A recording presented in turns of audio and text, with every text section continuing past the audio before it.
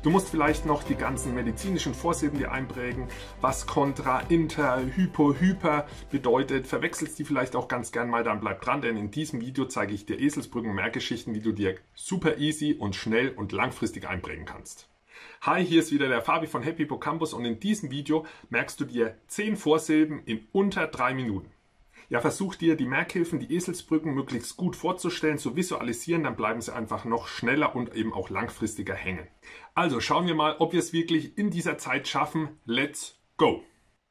Die Vorsilbe Tachi heißt so viel wie schnell. Und du könntest dir vorstellen, wie jemand ganz schnell sagt, Tachchen, Tachi und wieder abhaut. Also Tachi schnell. Zum Beispiel Tachykardie, ein schnelles Herz oder zu hoher Puls. Als nächstes die Vorsilbe trans heißt über oder hinüber. Wie kannst du dir das vorstellen oder ja merken? Trans, die transsibirische Eisenbahn fährt über Schienen hinüber in ein anderes Land. Wie zum Beispiel bei Transplantation, wo ja irgendetwas von dem einen Ort hinüber zum anderen Ort ja verpflanzt wird quasi. Als nächstes inter heißt ja zwischen.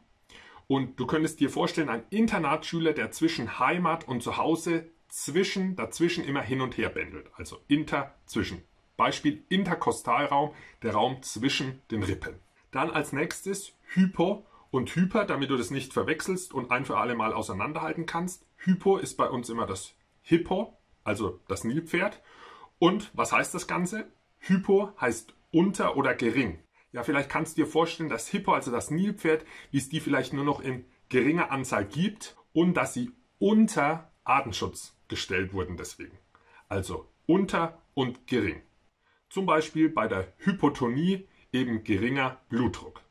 Hyper könntest du dir vorstellen, jemand, der hyperaktiv ist, also über, über dem eigentlichen Maß aktiv, deswegen hyper eben heißt über. Dann die nächste Vorsilbe kontra. Kontra heißt gegen. Du stellst dir vor, wie jemand mit einem Kontrabass, weil das vielleicht so ein großes Musikinstrument ist, gegen den Baum rennt. Kontra gegen. Zum Beispiel bei der Kontraindikation. Dann, was auch ganz gut dazu passt, Anti. Du könntest dir einen Andi, also einen Andreas zum Beispiel, wenn du jemanden kennst, vorstellen, der auch gegen den Baum rennt. Vielleicht kannst du dir den Andi mit, der, mit dem großen Kontrabass vorstellen, mit dem du gegen den Baum läufst. Damit weißt du dann, dass beide Sachen gegen heißen. Also Anti gegen.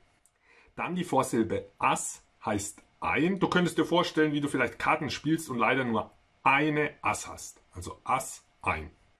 Zum Beispiel eben bei der Aspiration, bei der Einatmung. Dann die Vorsilbe Poly, mehrfach oder viel. Du musst vielleicht mehrfach oder viel deine Scheibe polieren, wie Poly, damit sie sauber wird. Also Poly, mehrfach oder viel. Zum Beispiel bei der Polyurie, also zu viel Urin. Dann die Vorsilbe DE oder D heißt Rückbildung. Und du könntest dir vorstellen für DE als Abkürzung für Deutschland, dass sich Deutschland zurückbildet oder vielleicht die Flagge immer kleiner, immer kleiner wird. Also DE, D für Rückbildung.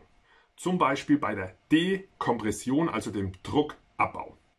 Ja, herzlichen Glückwunsch, du hast dir hiermit ja zehn Begriffe in kürzester Zeit eingeprägt. Ich hoffe, es hat für dich geklappt. Wenn ja, lass gerne einen Daumen nach oben da, teile das Video gern, abonniere auch gern unseren Kanal, auch das Glöckchen aktivieren. Die meisten oder du vielleicht hast den YouTube-Kanal vielleicht von uns noch nicht ähm, ja, abonniert, dann ja, abonniere gern den Kanal und klick aufs Glöckchen, dann erfährst du, wann die nächsten Videos ja kommen und du verpasst dann auch wirklich kein Video mehr.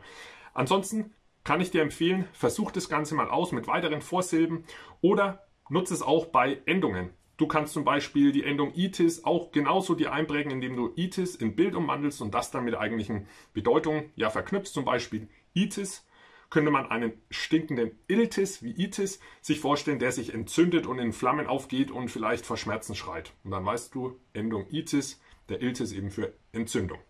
Und so kannst du es auch mal mit anderen Begriffen machen, mit Vorsilben, mit Endungen. Es geht auch mit anderen Namen, Begrifflichkeiten, was du sonst vielleicht ja dir einprägen möchtest.